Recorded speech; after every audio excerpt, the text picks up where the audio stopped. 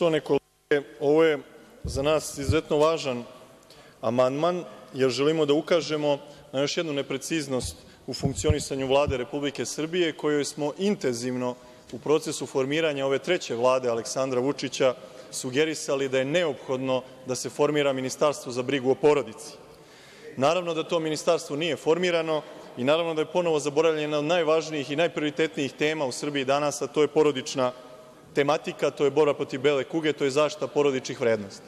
Ali evo upravo u ovom zakonu vi to po prvi put pominjete, tako da to mogu zaista da pohvalim kao veliki iskorak, da je Srpska napredna stranka posle pet godina vlasti shvatila značaj porodične zaštite u našem društvu.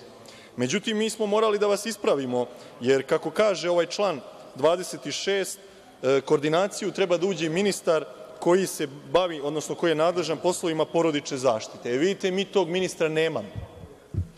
Naime, mi nemamo ministarstvo za porodicu i nemamo ministra za porodičnu zaštitu. Vi ćete mi, naravno, gospođo ministre, reći kako ja ne znam dovoljno o tome i kako u našoj da kažem, sistematizaciji ministarstava postoji Ministarstvo za rad, socijalna pitanja, borbu protiv siromaštva i društvene isključenosti i kako i ono bi trebalo da se bavi porodičnom zaštitom. Pa što onda ta porodična zaštita ne uđe u naziv toga ministarstva? Toliko je, dakle, vama bitna porodična zaštita da ste zaboravili da je stavite u naziv ministarstva koje se bavi porodičnom zaštitom. Dakle, ja hoću da vam samo kažem da ne budete neprecizni, a da ne budete ni licemeri. Vi ministra za porodičnu zaštitu nemate.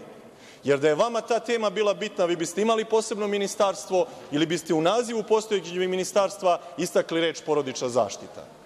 Vi, dakle, i ovim dokazujete da vama porodica nije na prvom mestu i da vi ne razumete značaj porodične politike u 21. veku. I to je ono što se mi neprestano sporimo sa vama.